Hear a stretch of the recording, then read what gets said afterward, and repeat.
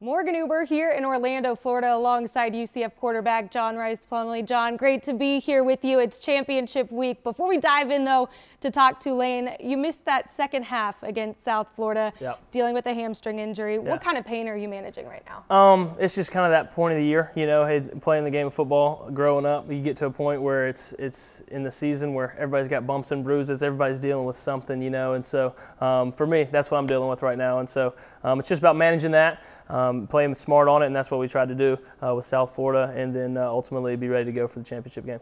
Three weeks ago, you faced this Tulane team. You showed that you had the blueprint to take down the top defense in the conference.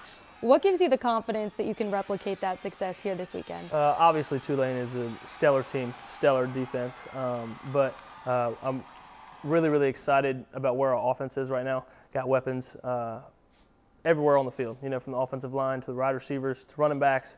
And so um, when, you, when you put it all together and uh, to have us clicking the way we're clicking right now, it, it makes you excited going into a week like this. What do you attribute that chemistry to? Um, I think it's just uh, Coach Malzahn calls it uh, going like this. When he, he talks with his hands a lot, and he says going like this. He, he says that at some point in the season, a lot of teams plateau. They get they get as good as they're going to get, and they just kind of stay there.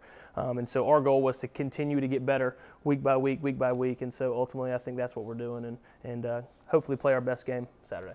When you watch the film against Tulane, what is the single biggest challenge with their defense to game plan against them? Obviously, they got players all over the field. Um, number one, number two at linebacker level. Uh, you got some defensive linemen that can really plug some holes, and on the uh, back end of it, they got athletes that can move around and make plays. And so um, it's one of those things that uh, game planning it's it's different because uh, you faced them once, you know what what what they were but you don't know what kind of adjustments they're going to make. And so uh, you have to be ready to make adjustments yourself. And so uh, that's what we want to be able to do come game time and uh, be ready to go this week.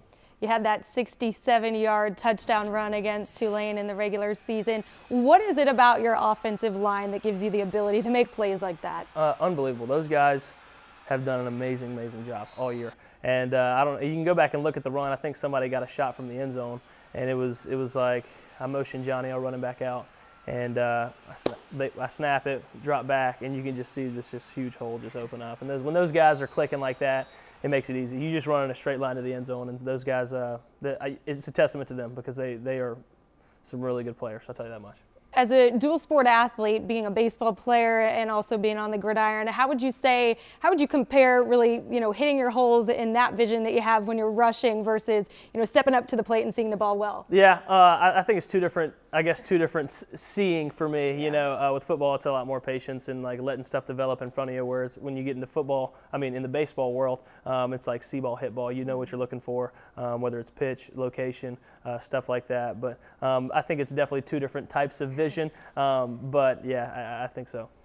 With Mikey Keene, having a guy like that on your roster backing you up this season, how does he make you better being a part of that quarterback room? He's a stud. Uh, uh there's plain and simple that he's a stud. That's the only way to describe him. Um, he's a winner. Um, he's a competitor, and uh, he's an amazing, amazing teammate. And so uh, to have him have your back uh, through a season like this, where there's been ups and downs and ups and downs, uh, it's been really, really helpful for me. I know. Um, and he's been awesome, awesome in that quarterback room when it's come to game planning, putting in his input, uh, game time adjustments. He's telling me what he's seeing.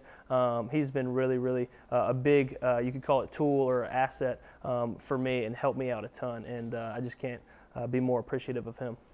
Finally, what is it about this team? What is the single biggest thing that you all have that really has the ability to win a championship here this weekend? Um, I think this is a special team. I think if you watch us on the field, a lot of passion all over the place, whether it comes to T. Will on that side of the ball, um, whether Jeremiah Jean uh, calling the shots over on the defense, when it comes to, to Johnny Richardson, when it comes to Bowser, when it comes to Javon, Kobe, Ryan O'Keefe, there's just passion all over the field. And I think when you play uh, with emotion, um, it helps you make those big plays. We always talk about playing with emotion, um, but not playing emotional. When you play emotional, you get you get out of your own game. But when you play with emotion, I think you play uh, your best ball. And so I think we do that as a team really, really well, and uh, look forward to do it Saturday. We're looking forward to watching it on Saturday, and you can see John Rhys Plumlee and these UCF Knights face the Tulane Green Wave 4 p.m. Eastern on ABC. John, thanks for the time. Thanks so much. Good night.